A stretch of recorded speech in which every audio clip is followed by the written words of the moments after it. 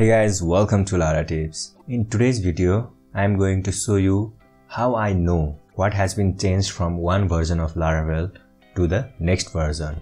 And also, I am making this video because I want your feedback. If you know any other way to check what has been changed or what has been added to the latest Laravel version as compared to the previous version, then please just let me know in the comment section below. Now here I'll show you how I see the difference. So basically I'll go to the Laravel framework GitHub repository, which is this github.com slash laravel slash framework.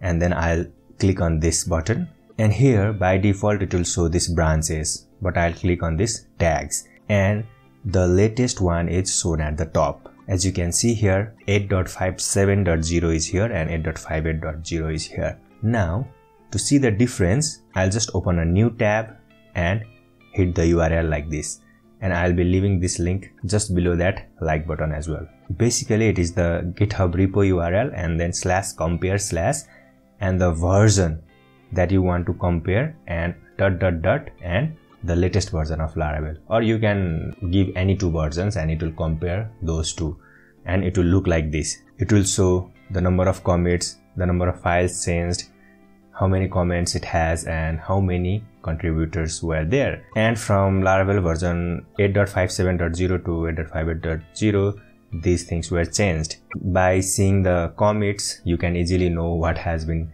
added or changed. But to know the full detail of that commit, just click on this pull request link. Whenever you click on this link, it will show you the full detail of that pull request. So I'll open this in the next tab here we'll see the title of the pull request. And if we see here 8.x then it will be merged into the Laravel 8 version. But whenever this title starts with 9.x then that pull request will get merged to the version 9 of the Laravel.